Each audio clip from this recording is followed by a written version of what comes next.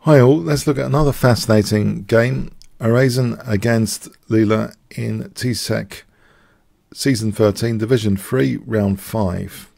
So Knight F3 from Arasan, Leela plays C5. This is the book given to both and the book now.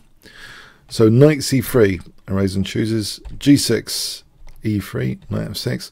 And actually this is a very theoretically trodden continuation in Chessbase Live book, funny enough. So both engines are playing what is very, very popular. Bishop b5, bishop g7, bishop g5, queen b6. So here uh, now we have queen a3. So white is threatening to take and play queen e7 checkmate, just to put that on the board, for example, like this. So the queen and bishop cooperating on e7. Uh, so we have actually f6, so stopping that coordination point. Knight takes, e takes. Now bishop takes, very forcing. This has all been seen before until here. A big TN novelty by Arasan with huge brute force behind it. Plays actually uh, not not a standard like rook move, but knight e5 check, which breaks open the e7 square uh, so at the cost of a piece.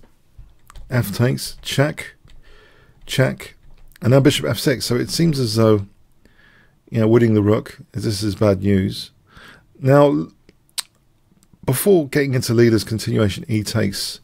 Here it seems two of my strongest engines, Stockfish 9 and Houdini 6, think this might be might have been a way for black to get an advantage um, of more than like 0.5, a clearer, what called a clear advantage. Um, so there's some very interesting lines here uh, after bishop takes. It depends if white can really get this bishop, then it will have two bishops for a rook, basically. Uh, if we look at this with bishop d7, hitting the queen, rook e8, rook e7, very quiet move, but rook f7 now is on the cards. So this continuation with rook f7, uh, because otherwise, I believe, if, even if the queen was on e5, there's things like rook f5, driving the queen away from supporting the bishop. So the queen lets go of the bishop, say, with queen b3. Uh, black takes, and that opens up the rook, so that's why white would want to do that, to take this pawn. But this position might be a big advantage for white, it seems. Not, not for white, for black, with the bishops, the two bishops against the rook. Pawns doubled. This this should be perhaps it does seem to represent one of Black's best winning attempts.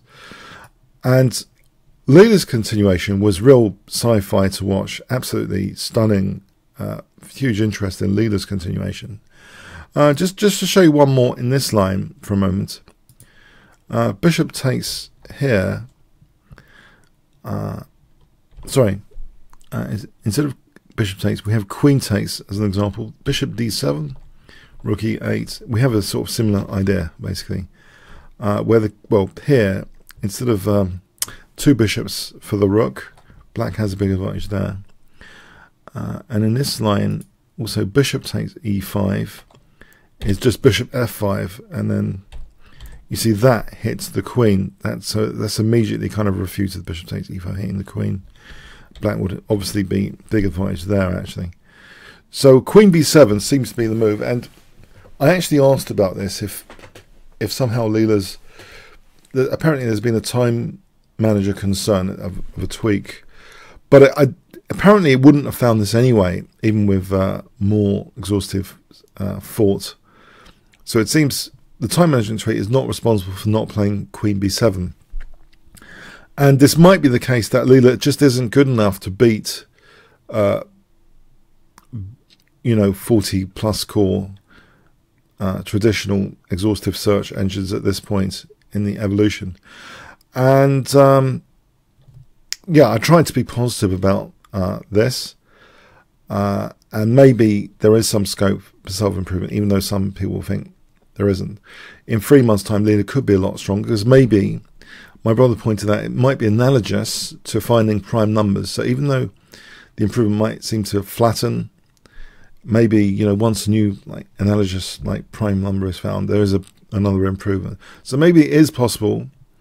It's likely, I would hope, that Leela in two months' time in Division 3, I hope it starts from Division 3, would find super clinical moves like this. Because what happened now, instead of Queen B7, was E takes D4. Man, this is a, like a fascinating continuation. Really fascinating. Bishop takes.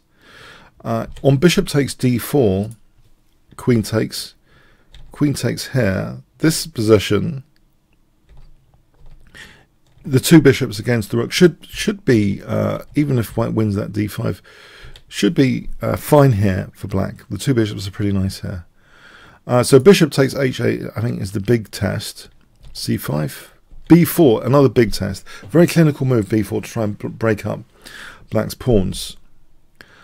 Uh, so we have c4, queen e5, d3. And it just it looks absolute madness. When we were spectating this, we just thought this is absolute madness. But I managed to predict Leela's idea, which essentially is a stunning idea. It's basically to give up this other rook and essentially go two exchanges down with queen b7. Yeah, I, I saw this queen b7 idea in streams. I thought the two connected pass pawns. And really, I was convinced, well, this is like sci-fi chess. These connected pass pawns are going to win here. Even though black is two exchanges down, because we've seen that game pattern as well on on fast time control games that is sometimes sacrificing two exchanges but has winning pass pawns. But is it the case in this position? I mean, it would have made my day if this is the case. Uh, so is it the case? Bishop takes b7. I'm probably not giving you much tension about the result of this game. It seems as though on the surface you know, Black would win the brilliancy prize here with this double exchange sack, in effect, giving up one rook and then the other to be two exchanges down. But sometimes the visuals are challenged by clinical, precise play. Uh, I think Luke McShane once said when he was a junior, uh, when I was watching him analyze games, he used an expression like it all depends on the position. And I think that is that encapsulates a lot of what brute force with the the exhaustive search approach rather represents. It's really position sensitive. It really all depends on the position. The visuals here really all depend on the position. Can White do anything about these two connected pass pawns? I like to think, in a in a sense, that seeing is more important than calculating. like in Star Wars, you know, use the Force, use your the full stretch of your emotions uh, of what you see, etc., rather than trying to calculate everything. But let's see what happens here. So the the two connected pass pawns seem, in some sense, very convincing, supported by the bishop here. D3 is challenged.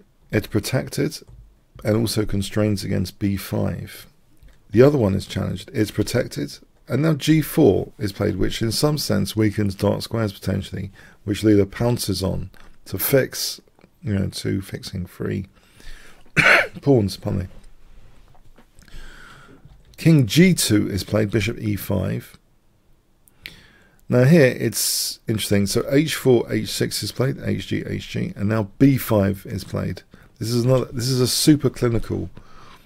It all depends type move. It really is super clinical. If King f3, uh, then c2, and then Bishop f4, and Black will triumph with a big advantage. Uh, it seems. Yeah, sorry. Just just to put this on the board, you might think, well, well, how? Uh, the thing is, there's uh, I, I believe that there's a, there's a um, yeah, hell. Um, sorry, I think it's I should have prepared this line, but Bishop B7 check forces this because the king hasn't got any escape squares, and then I think we can just take here. So this is why sacrificing a rook here doesn't help Uh, so black is threatening bishop b7 check, among other things here.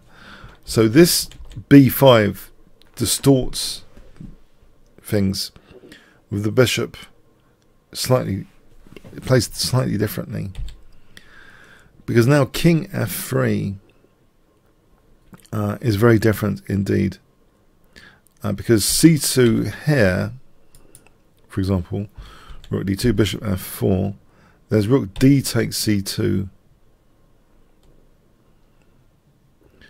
So the point is there's no check, is there? There's no putting a rook where it's pinned. Just be snapped off.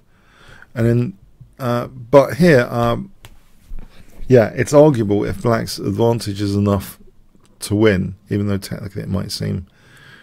Yeah, it's just it's it's not so clear cut. So anyway, in this position, d2 is tried, rook c2, king g7. And yeah, the visuals are taken away. In other words, white sacrifices a rook to get to wipe out the connected pass pawns. And now it is getting tricky. Check. King f6. Rook d8. Rook f8. And it's just very, very tricky to win this, it seems. Uh, so we have a5 here. That's fixed. That's protected. That's protected. Protected. Protected. A few checks. Check. That's hit. Check. That's attacked. That's protected. That's attacked. That's protected. Check. Check. Check. Attacked. Protected. Attacked. Now it's slightly different. Taking here. So giving up g5. That's hit, but now the f pawn moves. King c4, f5, check. And here, in fact, after f6, uh, rook e7, it's a draw really. Uh, bishop takes agreed, drawn here. Uh, the bishop is of the wrong colour for this a pawn to have a queen, so this is just a technical draw. The king can always stop the a pawn here. Yeah. Uh, so, and unfortunately, this game is representative of several other draws, which I'm not sure I will cover on this channel. So, I just wanted to say, I mean, this is one of the more interesting examples that brute. I keep saying brute force. The exhaustive search uh, methods, especially on like 40 plus core machines, is difficult to beat. I think that's something that was noticed in the World Championship events Leela competed earlier, prior to this event, uh, where they're just incredibly difficult to beat. You really need to have uh, super clinical moves early on. Now, maybe I'm speculating. I mean, if you guys want to analyze Queen B7 yourselves, to find out if that really is the best move, or you might have much stronger hardware than me, then please let me know if you think there was a chance with Queen B7 to try and get a winning advantage. I think at this level of chess, any small inaccuracies might result in um, a draw instead of a win because the resourcefulness is at such a high level pitch. It's just incredible. So, uh, yeah, a very tough game. Uh, Arasan very, very clinical resources found, as you expect. So the visuals are sometimes not the be all and end all, one must humbly admit. Uh, that's unfortunate for me, but I hope Leela might find, in effect, uh, by analogy, some extra prime numbers for next time. So, for TCEC season 14, I'm hoping there will be a lot more wins from Leela. Especially, you know, if she starts from Division 3 as well, which I hope. That'd be really interesting to watch. Okay. Comments, questions, likes, shares appreciated. Thanks so much.